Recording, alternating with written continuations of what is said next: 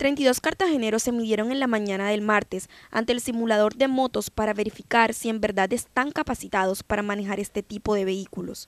Esta es la primera simulación que se hace este año y el resultado no fue alentador.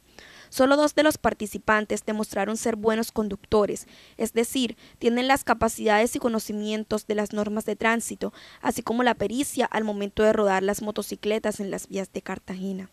La prueba, realizada por el Departamento de Tránsito y Transporte, va encaminada a demostrarle a las personas que el desconocimiento de las señales de tránsito puede causar accidentes. Asimismo, se enfoca en llamarles la atención para que sean más precavidos. Bueno, las fallas más comunes fueron eh, desconocimiento de las señales, eh, sí, digamos que violación de alguna de ellas, pues desafortunadamente culminan en accidentes lamentable. El universal.com.co estuvo presente en Chambacú, donde se realizaron las pruebas y habló con una de las personas que se le midió al simulador. Una de las fallas más comunes que se está viendo aquí es la falta de pronto de capacitación y de imprudencia que cometemos mucho nosotros mototaxistas. Durante esta jornada muchos de los participantes se dieron cuenta de que solo saben maniobrar la moto, pero que les hace falta ciertos conocimientos básicos para ser un buen conductor.